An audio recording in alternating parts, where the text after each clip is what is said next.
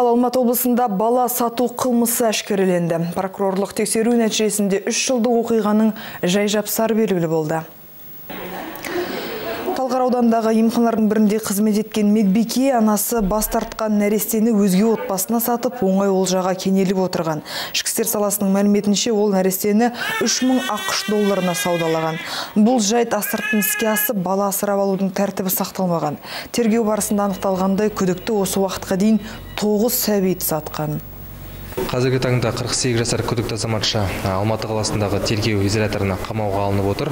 Оның осы тектес өзге де бірнеше қылмысқа қатысының бар екені дәлелденіп отыр. Сондықтан қазіргі таңда оған қатысты тергеу амалдары жүргізілу үстінде.